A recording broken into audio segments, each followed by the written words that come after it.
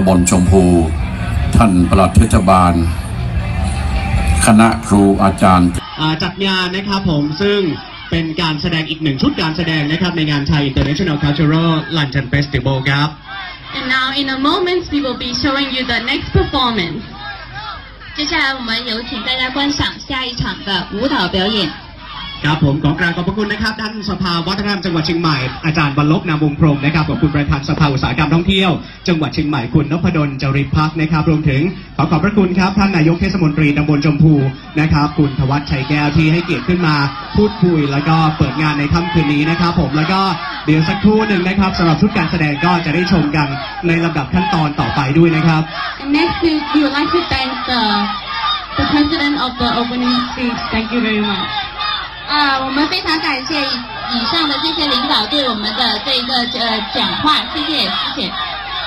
ครับผมและในช่วงเวลานี้ครับขออนุญาตเรียนเชิญนะครับท่านประธาน และท่านผู้มีส่วนเกี่ยวข้องนะครับ ได้ไปลอยกระทงยังบริเวณลานที่อยู่ด้านข้างเวทีของเรานะครับ เพื่อได้ทำลอยกระทงนะครับในวันนี้ด้วยนะครับ เอาองค์กรในพื้นที่เขาร่วมจัด พอจัดเสร็จแล้วก็ไปดูตีก็ก็เป็นเจ้าของตีอย่างเดียว ส่วนจัดนั้นเป็นของท่องเที่ยว สมาพันธ์ท่องเที่ยวเนี่ย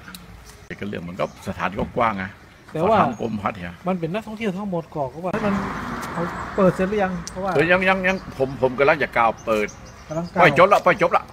อ๋อแอมน้องแล้วผมขอตัวพี่ก่ะเพราะผมมีภารกิจทีนี้เทศบาลน่ะทำไมบัตรบริหารเศรษฐกิจบอกว่า สั่งสั่งเทศกิจคือเอาอย่างมันที่คือคือการไปร่วมงานวัฒนธรรมนั้นไม่ไม่มีปัญหาอะไรมันก็ทุกปีนะ แต่ว่าเมื่อเสร็จงานแล้วเนี่ยเห็นคลิปลงมา ผมก็โทรศัพท์ไปถามทางเทศบาลตำบลชมพูมันเกิดอะไรขึ้นเขาก็เล่าให้ฟังว่าคณะผู้จัดเนี่ยไม่ทราบว่าเป็นสหมาพันธ์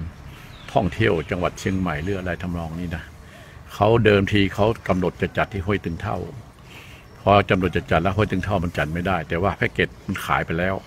ทั้ง VIP ทั้งธรรมดาเนี่ยของคนจีนเขาซื้อไปเยอะมาก แต่ไม่กล้าที่จะคืนเงินเขาก็ไปหาสถานที่จัด พอไปได้สถานที่จัดคือที่ตำบลชมพูเขาก็ไปร่วมงานกับเทศบาลตำบลชมพูเพิ่งเป็นเจ้าของสถานที่เขาก็ได้จัดพอได้จัดแล้วเห็นว่าเป็นเป็นงานที่จะจัดให้มันยิ่งใหญ่บ้างอะไรบ้างเขาเขาไม่ได้ทราบเรื่องนั้นหรอกในวันนั้นเขาก็เชิญผมไปร่วมงานตลอด เพราะอะไรที่เป็นงานวัฒนธรรมผมก็ไปตลอด ไม่ว่าจะเป็นสร้างรองไม่ว่าจะเป็นงานอะไรก็ตาม ก็ไปร่วมงานพอไปร่วมงานก็ เสร็จแล้วผมก็กลับพิธีเปิดงานเสร็จแล้วผมก็กลับแล้วมีปัญหาตามมาผมก็ถามนายกนายกเขาก็บอกว่า เดิมทีเนี่ยคณะทัวร์จีนเนี่ยน่าจะประมาณ 2,000 คนที่ไปร่วมงาน แต่ว่าหนึ่งในนั้นประมาณสัก 50 คนเขาซื้อบัตร VIP น่าจะแพงหน่อย จากห้วยตึงเท่า เสร็จแล้วเขามางานนี้เขาก็นึกว่าบริเวณเอ่อบริการที่จัดงานมันจะเป็นไปตามโฆษณาเขา แล้วก็พอเขามาถึงถูกปฏิบัติไม่ใช่ VIP มันก็ทั่วๆไป เขาเกิดความรู้สึกไม่ดี พอเกิดความรู้สึกไม่ดีเขาก็แสดงออกในเชิงสัญลักษณ์ต่าง ๆ นานาแสดงออกอ่าเชิงต่างๆเหล่านี้ให้ให้ให้ให้คนจัดรู้ว่าเขาไม่พอใจนะ แต่เขาก็นึกว่าจะขอคืนเงินบ้างอะไรบ้างนนี่ไม่เกี่ยวคนจัดคนจัดนู่นอะเทศบาลก็ไม่เกี่ยวเกี่ยวกับเรื่องไอ้สมาพันธ์ที่เขาจัดเขาก็มีปฏิกิริยาจากนั้นก็เห็นว่ามีเรื่อง ที่จะต้องขออแสดงออกถึงความไม่พอใจในที่ต่างๆไม่ว่าจะไปร้องเรียนกับท่องเที่ยวและกีฬาบ้างหรือหน่วยงานท่องเที่ยวเนี่ยให้รับทราบว่าเขาเขาผิดหวังนะทำนองเนี้ยอันนี้อันนี้เป็นเรื่องที่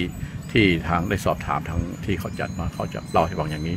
ส่วนเรื่องวัฒนธรรมแบบเพศเรื่องปล่อยคมไม่มีปัญหาอะไรที่ว่าจะเป็นไปตาม